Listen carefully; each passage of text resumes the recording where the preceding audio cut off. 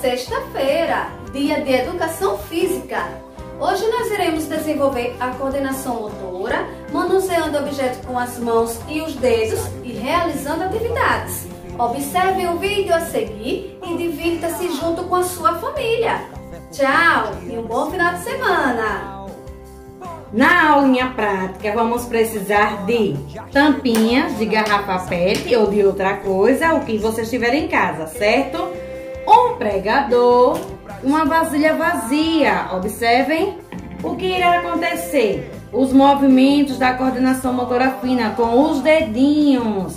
Irei pegar o pregador, abrir e fixar na tampinha. Solta, prende, leva até a vasilha, certo? Vamos lá? Preste atenção, viu? Um, dois, três. Peguei, abri, prendi a tampinha e levei até a vasilha. Peguei, abri, prendi a tampinha, epa! E levei até a vasilha. Abri, fechei, levei até a vasilha. Abri, fechei.